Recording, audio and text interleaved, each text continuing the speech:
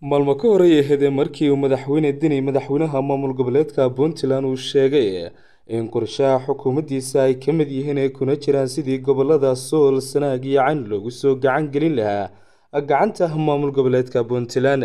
Haddaba xukuumadda somalilan ayaa ka hadashay arrimahaasi iyadoona ay sheegtay isla mar ahaantana ay waxba kama jiraan ku tilmaantay hadalka ka yimid madaxweynaha maamul goboleedka puntland saleebaan yuusuf cali kore wasiirka wasaaradda horumarinta kheyraadka iyo biyaha somalilan. Oo maanta warfidiyeenka kula hadlayay xafiiskiisa ayaa jawaabada ka bixiyey hadalka ka soo yeedhay madaxweynaha maamul goboleedka puntland kaasi uu ku tilmaamay in ay lidii ku tahay licifnimada ay ku kowsatay xukuumaddiisu dal iyo dad ummadi leedahay oo xuduuda leh uu yidhi ka hadlay. Ilaa markii ugu dambeeyey uu leeyahay miisaaniyad baanu gaaraan u sameynayna annaga annagu miisaaniyad gaara u samayn mayne dal iyo dad iyo ummad wadale baanu baa baa miisaaniyadda leh. Waxa aan hadda halkan kaga dhawaaqaya ay ugu ugu lixdan milyan ee lascaanood la siinayo cidaanu u sheegaynaa inaanu siinaynaa ma jirto. Waxay la mid yihiin mashaariicda aanu maalin kasta ka fulino dalka iyo deegaanka.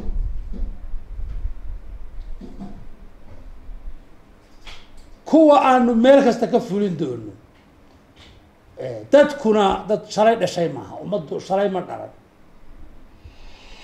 Intay gacanta ku hayeen deegaanada way garanayaan. Waxay ka qabteen taleex lascaanood tukaraaq buuhoodle waxay ka qabteen waa la garanaya. Annaguna waxaanu ka qabanay waa la garanaya ma aha inaanu faanayno. Laakiin annagu waxaanu aragnaa dalkayaga iyo dadkayaga iyo ummadayadii oo aanu wax u qabanayno saasaa madaxweynuhu maalin kasta council of ministerska ka bixiya. Wasiirka qorsheynta uu ku yihahdaa bari halage hay'adaha loo jibiyo saasay miisaaniyadda dhowr iyo toban sanadood ugu jirtay miisaaniyadaho loogu talagalay deegaanka in wax lagaga qabto. Ma aha waxaanu anagu hadda qorsheynayno ama hana odhanayno.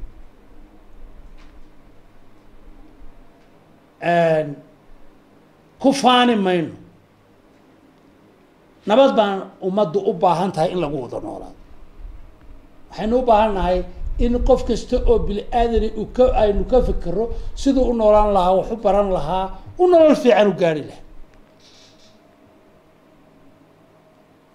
Qof kastoo af soomaaliga ku hadla in uu si fiican u noolaado inaynu ka fikiro jabuuti waa dawlad waanu jecel lahay waa lagu nool yahay maalin kasta waa la tagaa waa dal ummad soomaaliya ku noosha. Kelinka shanaad equal kenya equal waa dhulka soomaalida ku baxsatay. Kelinka shanaad maanta ninka damca inuu ku noolaado qof loo diidayaa ma jiro. Halkan maanta somalilan ummad soomaaliyeed baa ku nool. Oo dan soo muuday meel laga leeya ka baxa ma jirto. War inaynu walaalowno danaheena sidaynu u kala noolaan lahayn baa loo baahan yahay iyo sidaynu waxna u wada yeelan lahayn waxna u kala yeelan lahay in bini aadamku fahmo. Inaynu isugu hanjabno uun xabad. Inaynu xabad isugu hanjabno meesha kuma jirto.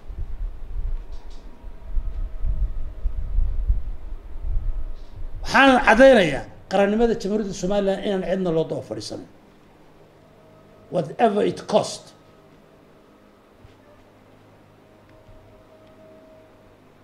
iyo xuduudaheeda.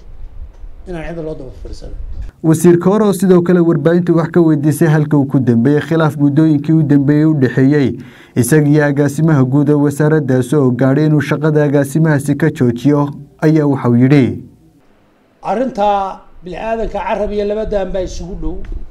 Way isqabtaan haddaad maqasho meel khilaaf ka dhaco shaqaa jirta haddaad aragto dad aan waxba isweydiinayna waa meelaan shaqa ka jira marka intaa waa la dhameeyey sidii ay ahayd baana loo dhameeyey hawshuna si propera bay u socotaa. Isqabashaduna maaha hadda oo keliya weligeed iyo laheyd maamulku. Iyo cid waliba marna way safgarataa marna way isyara afgaran weydaa. Wax ku cusub maaha qarankuna nin shaqadii aniga iyo qof kale toonna. Shaqada wasaaradda uma joog uma joogsanaysa ummaddaa loo shaqeynaya soomaaliya cabdi axmed karinle kaalson t v. Hargeysa